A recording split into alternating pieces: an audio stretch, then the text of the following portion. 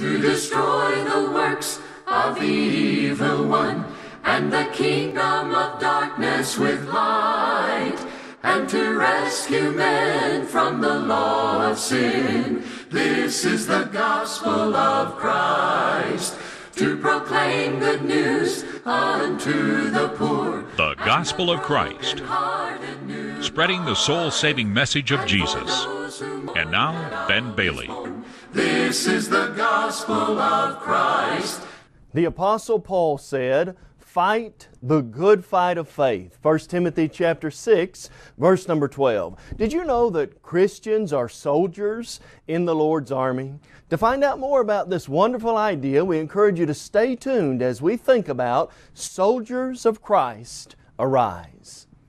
Welcome to the Gospel of Christ program. My name is Ben Bailey, and we're so glad that you've joined us for our broadcast today. Today's lessons are being brought to you by members of the Church of Christ worldwide. Those members of the Church of Christ in your area would love for you to stop by and visit their worship assembly. If you've got a Bible question or there's something you'd like to study, they'd be happy to sit down and study the Word of God together with you also at the Gospel of Christ. We'd love to help you in your study of the Word of God. You can log on to our website, thegospelofchrist.com, and all our Bible study material is free of charge and available to you.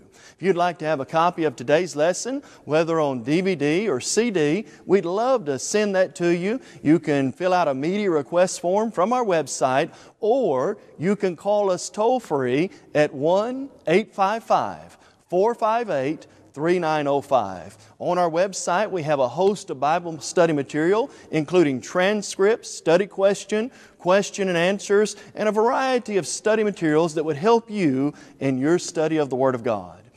Friend, at the Gospel of Christ, we're concerned about the salvation of souls. That's our main emphasis. We're not concerned about your wallet. We're not concerned about hidden agendas. We just simply want to help men and women know the Word of God and to go to heaven. And so as we transition to our study today, we hope that you'll get your Bible out and have it handy as we're going to look to the Word of God together. One of the most powerful pictures of the church that is seen in Scripture is as the army of the Lord. Paul will say in Ephesians chapter 6 verse number 12, we do not wrestle against flesh and blood, but against principalities, against powers, against the spiritual host of wickedness in the heavenly places. Right now, if we're a child of God, we are soldiers in the Lord's army. And God's plea is, as the old song says, for soldiers of Christ to arise and fight the good fight of faith you know, as we think about the power of the gospel, as we think about living for Christ each and every day, we've got to realize we are in a militant, aggressive battle every day against Satan and the host of wickedness. 2 Corinthians 10 verses 3 through 5 says, we don't wrestle against, we don't wrestle against flesh and blood, Rather, we fight against Satan and the spiritual host of wickedness, striving to bring every thought into captivity to the obedience of Christ. And friend, as we think today about soldiers of Christ arising to the call and the challenge in the Lord's army, let's realize that the kingdom of Christ and really the battle of Christ is not of this world, and God's soldiers here are not involved in a temporary physical battle Rather, we're in a spiritual battle. John 18, verse 36, Jesus said, My kingdom is not of this world. If it were, my, soul, my servants would fight. The kingdom of Christ is a spiritual rule and reign, and therefore we're involved in a spiritual battle against wickedness. This is why we don't wrestle against flesh and blood, as 2 Corinthians 10 verse 4 says. This is why Jesus encouraged us to be wise as serpents and harmless as doves, and thus we're involved in the most important battle one could ever imagine the battle against Satan for souls. 1 Peter 5 verse 8, the scripture clearly says, Be sober, to be vigilant, for your adversary the devil walks about like a roaring lion seeking those whom he may devour. And so today we want to think about what does the scripture teach us about being in the army of the Lord and what is my responsibility in the Lord's army. You know, when we think about the nature, what is it like in the Lord's army? Let's realize that this is a volunteer army. Nobody's going to force you to fight. Nobody's going to make you fight. Nobody's going to draft you or make you enlist in the Lord's army. It is strictly a volunteer army. Do you remember Psalm 110, verse number 3? The psalmist says, In the day of your power, they will be volunteers. Volunteers is what God's looking for, not forced people, but those who willingly want to come. This is why Jesus said, Come unto me, all ye who labor and are heavy laden. Nobody's making them, nobody's forcing them, but people freely come to Christ and volunteer for His cause. Revelation 22 17, let whosoever will come is the cry of the groom in Revelation chapter 22. The Bible teaches us that when we realize all that God has done for us, when we realize just how much Jesus sacrificed, we have the ability to choose to serve God. This is why Joshua would say in Joshua 24, verse 15, Choose for yourselves this day whom you'll serve. As for me and my house, we're going to serve the Lord. The choice is ours to make. But when we realize the only other option is to choose a life of sin, friends, it's a very simple choice. Romans 6 17, Paul would say, God be thanked that though you were the slaves of sin, yet you obeyed from the heart that form of doctrine to which you were delivered. You know, the good news and the encouraging idea here is that in the Lord's army, as volunteers, those who really do volunteer to serve the Lord are that much more committed. What about somebody who enlists in the army today? Let's say you had people who enlisted and people who were drafted into the army. Which of those two do you think really want to be there? Well, naturally, the ones who chose to be there. The same idea is true in the kingdom of Christ. Those who choose to be there, those who make that choice, are the ones who are going to work diligently in fighting the good fight of faith. I'll give you an example during the time of uh, the judges and Joshua, you've got the example of Gideon. And here, Gideon, in the context of Joshua 6 and 7, he reduced God's forces basically from 32,000 to 300 volunteers. Anybody who's faint hearted, Joshua said, Go home. Those who can't do it right, they had a test, litmus test for that, they were sent home, down from 32,000 to 300 volunteers, those who wanted to be there were the ones who fought and overcame in the battle. And friend, the same is true for us. If we're going to fight the good fight of faith, I've got to go into it knowing I'm here because I want to be here. I'm here to serve God. I'm here to fight the good fight of faith, and I want to do what I can in this great volunteer army for the greatest cause in the world. What else is the nature of the Lord's army like? What's it like in the Lord's army? The Lord's army has a perfect captain and commander. Hebrews chapter 2 verse 10, as captain of the Lord's army, Jesus has gone before us and blazed the way or set the pattern to follow. He was tempted at all points as we are, yet without sin. Hebrews 4 verse 15. We have that perfect commander who knows how to defeat the devil and who has set the path before us. You know, when we think about Jesus, he was not only tempted in all points as we are without sin, yet the Bible says in 1 Peter 2, verses 21 and 22, he committed no sin, nor was guile or deceit found in his mouth. And thus Peter would say, we're to follow in his footsteps. That's the, the perfect path that Jesus went down. I know exactly how to fight. I know exactly the plan. I know the perfect uh, position for defeat if I follow the Lord and Savior, Jesus Christ. You know, when we think about Jesus, the writer Paul says in 2 Corinthians 5, verse number 21, that God made Christ, who knew no sin, to be sin on our behalf, that we might be made the righteousness of God in or through Him. I'm devoted to following Christ out of love for what He's done for me and you. John 3:16 puts it this way so beautifully. God so loved the world He gave His only begotten Son, that whoever believes in Him should not perish, but have everlasting life. Why do we follow Christ? Why are we motivated to get in line behind the perfect commander?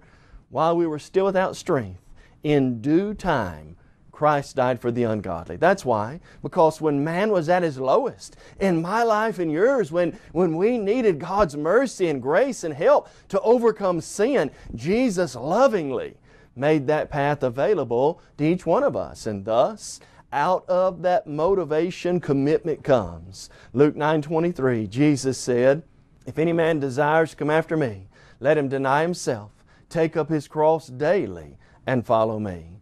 Be faithful until death, Jesus said, and I'll give you the crown of life. I know full well that if I follow Christ, if I get in line behind Him as the perfect commander, if I'm faithful to death, and if I stay committed, I absolutely will be victorious in the greatest battle ever. It was the great General Napoleon who said this. He said to his people, He said, We rested the creation of our genius on force. Of Jesus, he said, This man has built an empire on love. And at this moment, he said, millions would die for him. Christ has never forced anybody, He's never made anybody. Every person who wants to follow Christ faithfully does it out of love. And friend, that's the perfect commander, the best you could ever begin to imagine as it relates to giving ourselves to Almighty God and the things that He wants us to do in this life. As we think about the nature of the Lord's army, let's also realize that the one weapon we use is the sword of the Spirit. Ephesians 6, verse 17, and taking the sword of the Spirit, which is the Word of God. In this battle against evil, battle against sin, battle to overcome Satan, what weapon do I have? I have the most powerful, able weapon you could ever imagine. Romans 1.16 says, the gospel is God's power to save. We're not fighting with man made weapons, military might, with jets or tanks or machine guns. We're fighting with the sword of the Spirit, which the Bible tells us is the Almighty Word of God. And friend, this is the most powerful weapon you could ever have. Listen to Hebrews 4, verse 12. The Word of God is living and powerful sharper than any two edged sword, piercing even the division of soul and spirit, joints and marrow. It's a discerner of the thoughts and intents of the heart. As I fight against Satan, I can overcome him because God's Word I can hide in my heart that I might not sin against him. Psalm 119, the Bible says if we receive with meekness the implanted word, it's able to save our souls. James 1, verse number 21. And we fight that good fight of faith with the Word of God armed in our hearts and minds so that we can live faithfully to Him. And here's what's amazing about the Word of God. Not only does the Word of God have the power to defeat Satan, we know it does. For in Matthew chapter 4, verses 1 through 11, as Jesus was tempted by Satan to defend himself every time Jesus appealed to the Scripture and said, It is written, it is written, it is written. And so it has the ability and the power to overcome Satan. But you know, the Word of God has the ability and power to help keep me like I ought to be, to help keep me living as I ought to live. This is why the psalmist said God's Word is hidden in our heart that we might not sin against Him. You know, as we think about the nature of the Lord's army, let's also realize this fact. There are no paid leaves in the Lord's army. You know, you might be in the Army today and you might get a paid leave. You might get a month or six week vacation, paid leave, and get to go visit your family and just be off for a while. Friend, let's realize that the Lord's army is a continual, everyday fight. And when I do take that leave, you can rest assured Satan has me right where he wants me. The Bible says in Acts 2, verse 42, they continued steadfastly in the apostles' doctrine, fellowship, breaking of bread, and in prayers. This is why Paul would say, Be steadfast, immovable, always abounding in the work of the Lord, knowing that your labor is not in vain. This is why we're taught to search the Scriptures daily. Acts 17, verse 11. This is why we pray without ceasing. 1 Thessalonians 5, verses 17 following. And this is why we realize that the eyes of the Lord are in every place, beholding the good and the evil. God knows and God sees. He wants me to be active. He wants me to be working. He doesn't want me to get lazy. In fact, the times you find in the Bible where laziness occurs, people's souls were in jeopardy. 2 Thessalonians chapter 3 clearly teaches that idea. And so let's realize this is an everyday battle in the Lord's army to overcome self, to overcome sin, and to overcome Satan.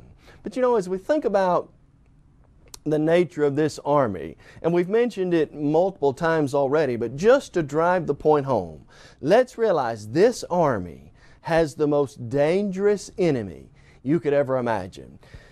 You think of dangerous enemies that have existed throughout world wars, and you think of people like, like Hitler. You think of people like maybe Saddam Hussein or Osama bin Laden. You think about great evil men who have done great acts of atrocity upon mankind. And friend, I will promise you, they don't begin to compare with the evil, heinous things Satan has done. In the garden, he tempted Adam and Eve and sin became uh, of a death and sin began to reign in each person because of sin from that time. He's the one who tempted Jesus. He's the one who tempted Peter and Judas and, and all the havoc. Think about Job. Here's Job. He was upright and blameless man and Satan's been going back and forth on the earth and God says, have you considered my servant Job? And from that point, Satan begins to wreak havoc in the life of Job, doing everything possible to get him to curse God and die.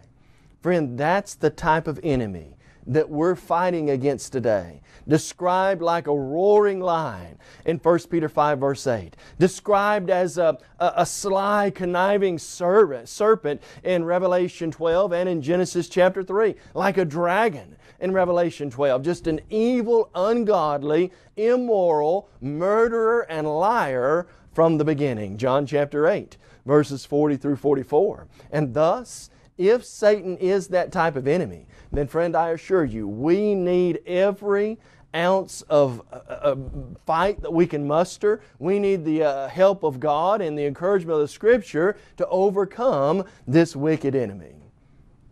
But you know, as we think about that fight, let's think about the nature of not only the army itself, but let's think about what does the Scripture describe as the nature of a good fighter or a good soldier in the Lord's army.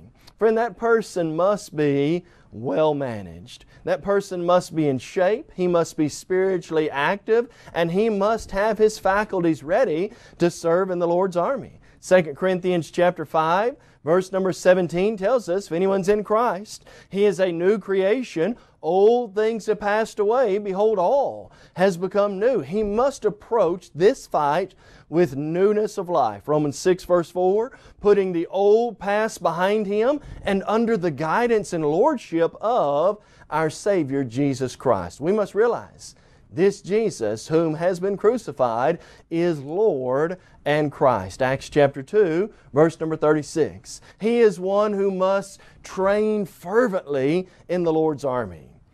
When you think about Hebrews chapter 12, the Bible says in Hebrews 12, beginning in verse 1, Seeing then that we're surrounded by so great a cloud of witnesses, let us lay aside every weight and the sin that does so easily ensnare us. And listen to this, let us run with endurance the race that is set before us, looking to Jesus, the author and finisher of our faith, who for the joy set before Him endured the cross, despising the shame, and is sat down at the right hand of the throne of God. What's that good servant like, that good soldier like? He must run the race with endurance. He's got to train. He's got to give it his all. He's got to catch his second wind, we might say, and, and keep running that race. Paul looked at it this way. In 1 Corinthians 9, verse 27, Paul said, I discipline my body and bring it into subjection lest when I've preached to others, I myself should become a castaway. Did Paul have to train himself? Did he have to work diligently? Did he have to fight the things off that often tried to come up in his life? And, and did he have to strive every day to win the battle? You bet He did. Christians must train every day. Prayer, Bible study, doing the work of God, encouraging one another, those are all, one another, those are all things that are so important in fighting the good fight of faith. But you know, one of the things that we also must do is build endurance as a good soldier of Jesus Christ. 2 Peter 3 verse 18 says, But grow in the grace and knowledge of our Lord and Savior, Jesus Christ. It isn't enough just to say, well, I've reached this point in my life as a Christian. I've got to always be taking a step forward, always be striving to win the battle, and always be striving to build up my endurance as a Christian. For I will promise you, every time that we may defeat Satan, there is a plan in action, there's a plan in his mind of another, even greater way he thinks to overcome us. And so our endurance must ever be increasing as a child of God. The great fighter Jack Dempsey said this. He said, A champion is someone who gets up when he can't. When you don't feel like you can anymore. When you feel like you're ready to throw in the towel. What separates those who are faithful to God from those who aren't? You pick yourself up and you keep going. Be faithful until death. Revelation chapter 2, verse number 10. And then as we think about what's it like to be a good fighter in the Lord's army, a good fighter always has a developed offense. That is, we're on the offense. We're looking to overcome Satan at all times. You know, when I think about fighting the good fight of faith, Paul will say in 2 Timothy chapter 4, I've fought the good fight. I finished the race. I'm kept the faith. Henceforth, there's laid up for me the crown of righteousness, which the Lord, the righteous judge, will give to me on that day. Paul knew he had fought the fight. He knew he'd kept the faith. And friend, when we live faithful God and we're striving to, we're not on the defense, we're on the offense. That is, we're looking, what good can I do? How can I grow today? Not what's Satan going to throw at me, but what can I do to strive to live faithful to God every day? You know, as we think about this idea of faithfulness and really having an offense, striving every day to live faithful to the Lord, I'm reminded of something else that a great fighter once said by the name of Muhammad Ali. All of us are familiar with Muhammad Ali. Here's what he said. Upon his offense, he said this. This was his strategy. He said, I'll be in fighting one of the great fighters of his day. He said, I'll beat him so bad, he'll need a shoehorn to put his hat on. Now, you know, when you think about having an offense, that was his mindset. He said, I'm going to go into this fight thinking that man's going to need somewhere else to hang his hat when I'm through with him. That's the mindset Christians want to have in the battle against Satan, in the battle against evil. I don't want to be always on the defense. I want to go into it knowing I'm in a fight. I want to go into it knowing Satan's going to tempt me, and I want to go into it with a plan to overcome the temptations that Satan may throw at each and every one of us every day.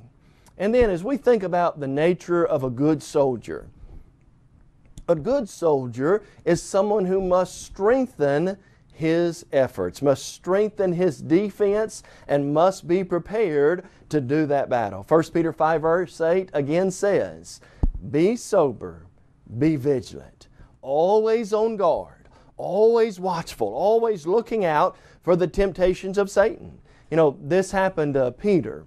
And it was sad that Peter was not ready. In Luke chapter 22, verse 31, Jesus said to Peter, Simon, Simon, Satan desires to have you that he may sift you as wheat. But I've prayed for you. I will assure you that our name can be placed where Simon's name is. My name can be put there and yours as well, and you can rest assured Satan desires to have you. This is why we must ever be strengthening in the Word of God, in our work of the church, and in our lives as Christians so that we can overcome Satan and all that he throws at us. But you know, as a good soldier, we also need to never underestimate the opponent. We don't want to ever get to a point where we say, you know, Satan, he's not that bad. I can overcome him. He's not that difficult to defeat. You read Matthew chapter 4 again. Jesus was tempted in every way possible, and only by His strength in the Word of God was He able to overcome. Luke chapter 4, when the, uh, when the woman's house is cleaned out of all the evil servants, the Bible says that they did leave, but they left until a more opportune time arose. Friend, you can rest assured Satan's going to do his part. Job 1 presents him as an active, aggressive, and militant evil enemy. And we need to realize don't ever underestimate what Satan can do and the things that he can do against us in this life. And so the nature of a good soldier is one who must never give up and one who must never give in in fighting this great battle. But friend, because of all that God has done for us, we need to be motivated every day to serve Him in this army. 2 Corinthians 5 the Apostle Paul said, The love of Christ compels us because we judge thus that if one died for all, then all died. And he who died for all died for them that those who live for him should not die again, but live for Christ each and every day, so that we can be faithful unto the Lord and remain true to his gospel. Don't give up in fighting the good fight of faith. Stay true in the greatest cause ever. I'm reminded of the words of 2 Corinthians chapter 8 verse number 9. The Bible says, You know the grace of our Lord Jesus Christ, though He was rich, yet for your sakes He became poor, that we through His poverty might be made rich. Look at what Jesus did in each one of our lives. He gave up the beauty and the splendor of that place called heaven so that one day, leave it coming to this earth, dying on the cross, so that one day we could live in heaven with Him for eternity. Friend, are you in the Lord's army today? Have you obeyed the gospel of our Lord and Savior Jesus Christ? If not, we beg you today, leave a life of sin and come to Jesus in obedience to the gospel. Do you believe Jesus is the Son of God and Savior of the world? John chapter 8, verse 24. Would you be willing to turn from a life of sin and selfishness? Luke chapter 13, verse number 3. Would you confess the name of Jesus as Lord and Savior of your life? Romans 10, verse 10. And would you, to have every sin washed away, be immersed in water for the forgiveness of your sins? Acts chapter 2, verse number 38. And if, as a child of God, you know that in the Lord's army your life's not been lived like it should, friend, there's always time to come home, to get your life right, and to stay faithful to God. May each of us strive to really be the soldiers God wants us to be. You may have just joined our program and are wondering, what is the Gospel of Christ? The Gospel of Christ is an evangelistic work of the churches of Christ that reaches the whole world with the gospel through TV, radio, and internet. Our motto is to take the whole gospel to the whole world. We believe in having a book, chapter, and verse for everything we say and do. And unlike many religious groups today, we're concerned about lost souls, not your wife. This is the gospel of Christ. We encourage you to visit thegospelofchrist.com for a host of Bible study materials as well as audio and video copies of our lessons. If you would like to have a copy of today's lesson, please visit our website and fill out a media request form or you can email us at mail at thegospelofchrist.com. Call us toll free at 1 855 458 3905 or write to us at P.O. Box 788, McMinnville, Tennessee 37111.